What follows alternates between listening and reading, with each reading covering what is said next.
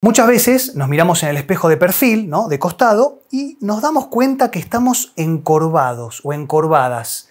¿no? Como que nos está saliendo una joroba horrible en la espalda y se nos prenden todas las alarmas. O incluso estamos con amigos y nos sacamos una foto y cuando la miramos decimos, para un poquitito, yo no tenía esta columna así tan hacia adelante, no estaba tan petizo o petiza. Y más allá de la cuestión estética, que es importante, ¿eh? es muy importante vernos bien. Pero hoy les quiero hablar de los trastornos biomecánicos que esto nos va a generar y sus consecuencias en el dolor, no solamente en la columna dorsal, sino también en la columna cervical, en la cabeza, bueno, en todo el cuerpo.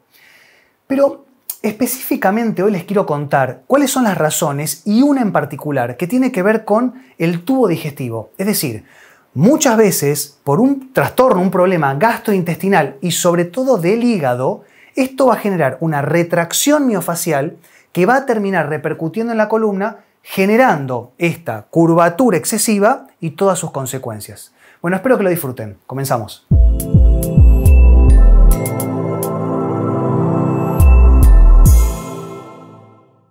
La columna vertebral tiene que tener curvaturas, es decir, es fisiológicamente correcto tener curvaturas hacia adelante y hacia atrás. Ahora, tiene que tener un cierto ángulo. Cuando es, este ángulo se excede, es decir, cuando tenemos una curvatura excesiva hacia adelante, ya empieza a ser un trastorno y un problema.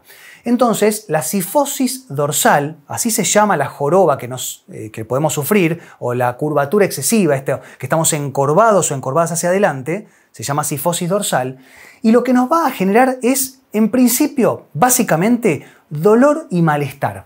Y cuando hablo de malestar, englobo muchísimas cosas. ¿Por qué? Porque puede ser dolor en la columna dorsal media, dolor cervical, dolor de cabeza, Puede, podemos tener inestabilidad, mareos, embotamiento, podemos tener fallas de la memoria, neblinas mentales, vista borrosa. Muchas veces terminamos yendo al oftalmólogo y es un problema cervical producto de una compensación dorsal.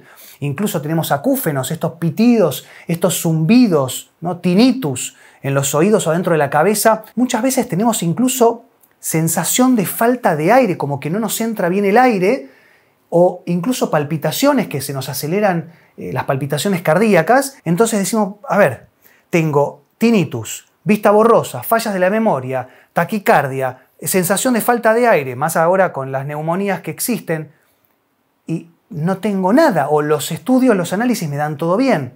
¿Por qué? Porque la columna está diseñada para trabajar en un cierto ángulo. Si lo excedemos o no lo tenemos, porque los dos son trastornos, la falta o el exceso de un, un ángulo determinado en la curvatura de la columna va a ser perjudicial. Y miren la cantidad de trastornos, además del dolor. Porque muchas veces decimos, estoy muy contracturado, y nos hacemos masajes, y nos hacemos masajes, y vamos al kinesiólogo, al traumatólogo, y hacemos un tratamiento tras otro, pero esta sifosis, esta joroba, o esta, esto estar encorvados o encorvadas, y muchas veces es difícil corregirlo, porque es un trastorno biomecánico, y cuando hablo de trastorno biomecánico, hablo de huesos, articulaciones, músculos, fascias, tendones, ligamentos, nervios y no solamente de la región que está encorvada, de todo el cuerpo, desde la punta de los pelos hasta la punta del pie. Acá es donde se abre el abanico infinitamente y tenemos más de 50 posibles causas de esta sifosis dorsal y nos va a generar más de 100 tipos de patología diferentes. Más de 100 tipos de patologías diferentes, es un montón. Y los tratamientos tienen que estar apuntados a lo más global posible.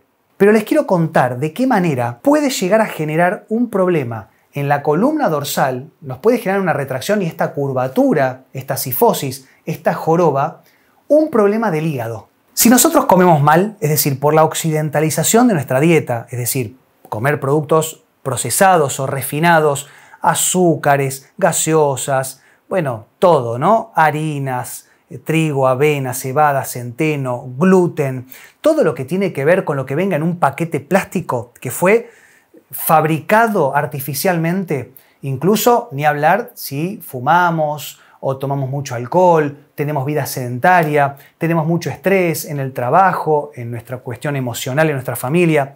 Todo esto va a hacer que nuestro tubo digestivo funcione mal. Se los aseguro. Por más que hagan actividad física, si comemos mal, no van a tener salud. Y viceversa, si tenemos una vida sedentaria, por más que tengamos una alimentación saludable, nos va a faltar un poquito para estar bien. Entonces, ¿qué pasa?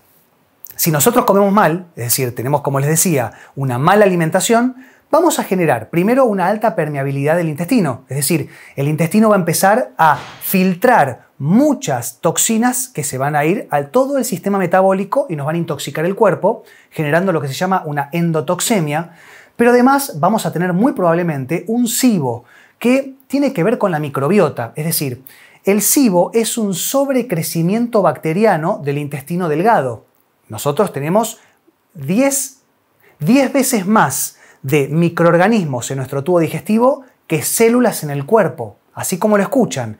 Pero estas bacterias se compensan. Ahora, si nosotros tenemos un desbalance en este microorganismo, o mejor dicho, en este ecosistema microbiano del tubo digestivo, vamos a empezar a tener este SIBO, como les decía, que son las iniciales de sobrecrecimiento bacteriano, y vamos a tener ese abdomen globoso. ¿Vieron las personas que no son gordas o que no tienen sobrepeso?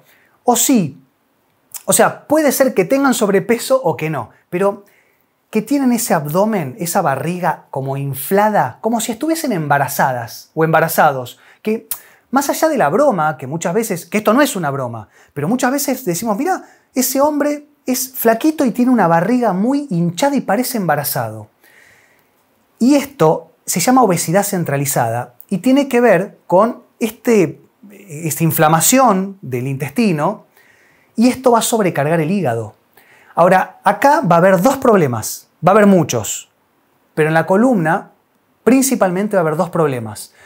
Uno que tiene que ver que si tenemos el abdomen todo hinchado, esto va a traccionar de toda nuestra cadena muscular anterior, es decir, es como si nos estuviesen chupando hacia adelante y nos va a traccionar sobre todo de la cadena respiratoria alta. Y vamos a tener lo que se llama el síndrome de la corbata corta, que es literalmente como si tuviéramos una corbata corta que no nos deja subir la cabeza, y vamos a generar esta curvatura excesiva en la columna dorsal, jorobando la columna, pero también todo este trastorno intestinal va a sobrecargar el hígado, porque toda la sangre venosa va a través de la vena porta al hígado, y el hígado trata de filtrarla junto con los riñones hasta que el hígado colapsa, primero se transforma en un hígado graso y después se fibrosa generando una cirrosis. Ya eso es complicado.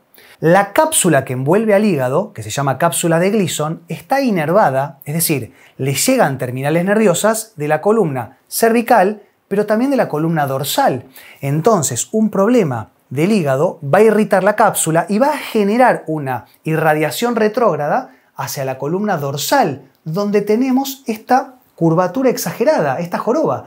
Entonces, si nosotros tenemos ya esta patología instalada y hacemos tratamientos para intentar mejorar la postura, hacemos gimnasia postural, RPG, osteopatía, quiropraxia, stretching, hacemos natación, ¿no? Eh, tratamos de elongar, tratamos de corregir la postura, nos compramos una silla ergonométrica, subimos el monitor, subimos el teclado y nos concentramos muchísimo. No miramos tele en la cama también.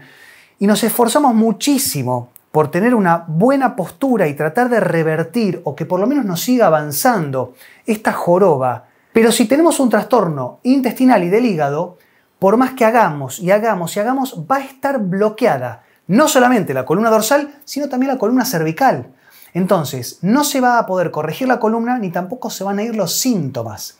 Entonces, cuando hagan tratamientos, asegúrense también de, es muy difícil, lleva tiempo, pero también corregir o mejorar, aunque sea de forma progresiva, la alimentación para de esa manera mejorar algo funcional, mejorar todo lo que más podamos de la funcionalidad del hígado y de esta manera tener más cuerda para poder empezar a crecer y tener una postura más saludable.